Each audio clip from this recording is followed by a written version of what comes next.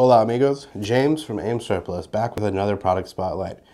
Do you have a bunch of P90 mags lying around or maybe also want to shoot 5.7 from your rifle? Well, this guy solves your problem. You don't even need to play Call of Duty to make it happen.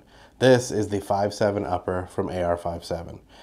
As you may have guessed, this upper will convert your AR-15 lower to shoot 5.7 by 28 ammo.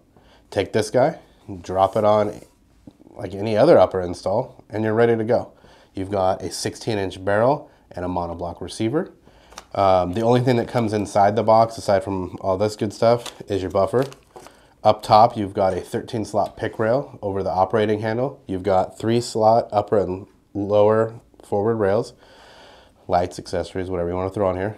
Barrel, receiver, rail, and the bolt are all Melonite treated, so you get a hard, durable finish. These things are extremely reliable. There's no gas system to get clogged up. You're not getting dirty chambers. The free sliding bolt is the only moving element to maintain. These come complete and ready to go. Ultra lightweight barrel with your muzzle brake on here, the proprietary carbine buffer, ambi mag release, and reversible charging handle. All you really need is an optic and some ammo, and you're ready. If you're local, swing by, check them out. Uh, it's a lot cooler seeing them in person than it is on like you know, the weapon screen of Call of Duty. If you're not local, you just have to check them out on the website, which is pretty similar to playing Call of Duty. But our website's cooler. Either way, thanks for watching. See you guys next time.